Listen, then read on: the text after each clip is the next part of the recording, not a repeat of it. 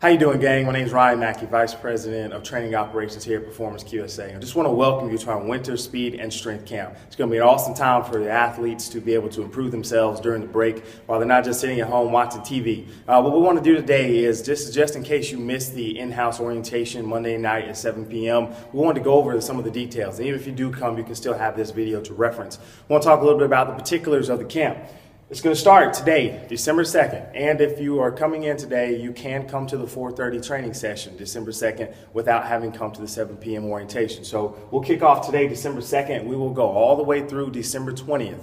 That is right around the Christmas times where we close down for the holidays and do a lot of uh, end of the year meetings and things of the sort. We'll pick back up on January 1st and go all the way through the month of January to the 31st. Okay? So you've got seven full weeks to get in 21 training sessions. So what does that mean? Well, that means that you can come five days in a row and then you can knock out all your training sessions in the first three weeks if you want to. That's totally up to you. Or you can allocate them and spread them out over the course of the seven weeks. The plan is for you to train consistently with a smart methodic approach, methodical approach. So we suggest that you take them every other day of the week, but your schedule may not allow you to do that. School, travel for the holidays, what have you, you may have to mix it up. So you might need to come three days one week, four days the next, whatever you want to do. But you've got seven weeks to get in your 21 sessions. They do not carry over after the 31st. So if you use them or you lose them kind of concept, okay? So for our age groups, 10 years old to eighth grade, all right, we're going Monday through Friday at 4:30 p.m.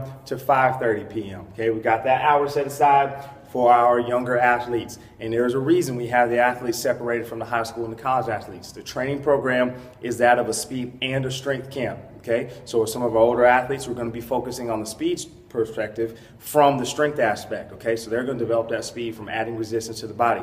Our younger athletes may not be physically mature enough for that just yet, so we want to make sure they're getting a good program that's focused around fun, but also allowing them to still get the benefits of speed and strength, but at their own capacity. So our younger athletes will not be able to move up into the higher age groups, but then our older athletes can come down. Now they'll miss some of the dynamic from that program, but they still have the option to come down if they want to. Ninth and 10th and 12th graders, 9th through 12th grade, our high school athletes. We've got speed training for you guys at 6:15 a.m. Monday, Wednesday, and Friday. Okay, 6:15 a.m. Monday, Wednesday, and Friday for speed development.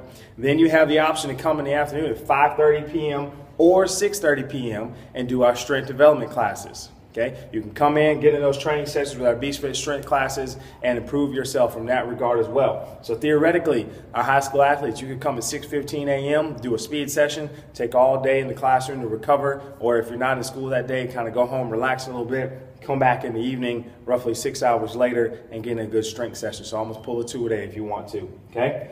Then for our college athletes, if we have any college athletes come back for the, uh, the winter break, depending on how many we have, we'll dictate their schedule based on what they're able to do. So with those kids being not being in school and being having the ability to drive and get themselves here, we will adjust our schedule for them based on what they can do. So that's why we don't have a set time for them just yet, because we may have one, we may have 15, but we'll figure that out as we go along. So just to give you a quick overview, December 2nd through the 20th, we'll pick back up on January 1st and go all the way through the 31st.